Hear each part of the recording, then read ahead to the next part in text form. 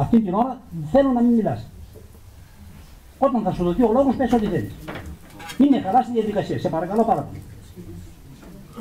Λοιπόν, βρήκαμε ένα σύλλογο ο οποίος απολογήθηκε η πρόεδρος, η Εξαιρετική Επιτροπή έλεγξε τα οικονομικά και αυτή τη στιγμή το νέο Διοικητικό Συμβούλιο το οποίο θα προκύψει θα παραλάβει ένα υπόλοιπο 18.511 ευρώ.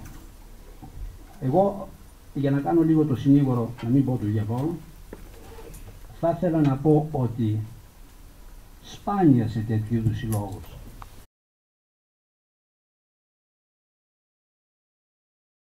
από πουθενά.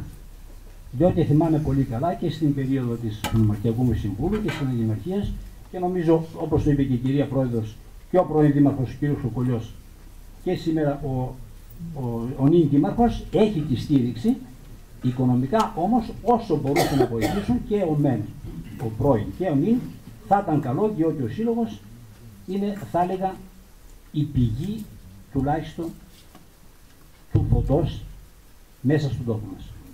Υπάρχει βέβαια και ο αθλητικός σύλλογος του Τιτάνος, τον οποίο και εκεί πρέπει όλοι μας να βοηθούμε με όποιον τρόπο μπορούμε, διότι με την σημερινή οικονομική κατάσταση και με τις επιχορηγήσεις οι οποίες διδόταν παλιά.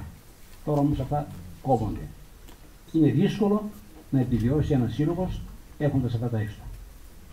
Εγώ κλείνω και θα ήθελα να συγχαρώ όλους, την κυρία Πρόεδρο και το πρώην Διοικητικό Συμβούλιο, για, την, για το έργο το οποίο μας παρουσίασαν.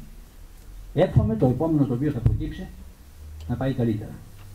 Εδώ κλείνουμε την πρώτη φάση της συνέλευσης και τώρα θα ήθελα ποιοι από το σώμα, από τα μέλη θέλουν να τοποθετηθούν, θα ανοίξουμε κατάλογο ομιλητών, θα δούμε πόσοι θα είναι και θα δώσω τον χρόνο τον οποίο θα πρέπει να μιλήσει ο καθένας.